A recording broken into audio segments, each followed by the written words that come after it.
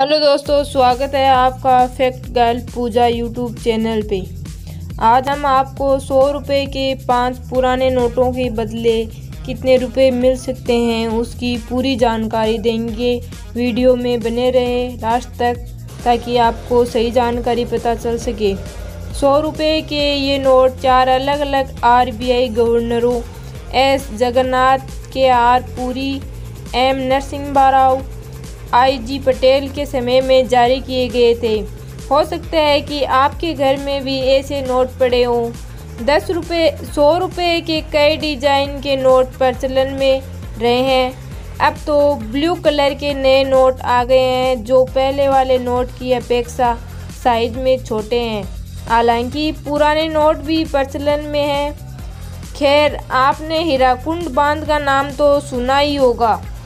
Video में आगे बढ़ें। इससे पहले मैं आप लोगों को बता दूँ कि आप हमारे चैनल पर नए हैं तो चैनल को पहले सब्सक्राइब कर लें और वीडियो अच्छा लगे तो वीडियो को जाते जाते एक लाइक भी कर देना और कमेंट में हमें बताना कि आपके पास कौन से आरबीआई गवर्नर के सिग्नेचर वाले नोट हैं। इस बाँध की स्मृति के लिए सौ रुपये वाले नोट को जारी किया गया था। ये नोट अब बहुत कम ही लोगों के पास होंगे। ये नोट आपको ढेर सारे पैसे दिला सकता है। क्या आपके पास हीरा कुंड बाँध वाले सौ रुपये के नोट पड़े हैं? तो वो इंडिया कॉम मिल के अनुसार सौ रुपये का यह नोट, यह एक नोट पूरे चार लाख रुपए में बिका है।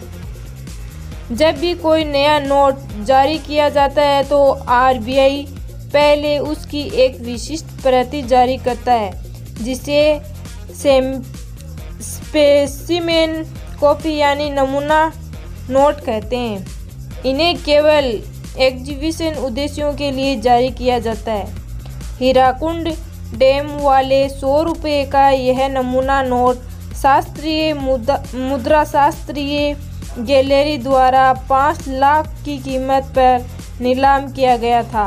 इस नोट की खासियत यह है कि इस नोट के सामने वाले हिस्से पर ऊपर हिंदी और अंग्रेज़ी में भारतीय रिज़र्व बैंक मुद्रित है।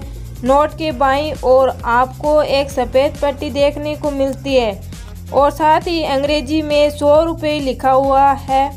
नोट के ऊपर और नीचे नीचे नोट का सीरियल नंबर भी अंकित है और नोट के नीचे गवर्नर का हस्ताक्षर है। इस तरह के आप इस तरह के नोट आपके पास हैं तो हमें कमेंट में ज़रूर बताएँ और चैनल को सब्सक्राइब ज़रूर कर लेना।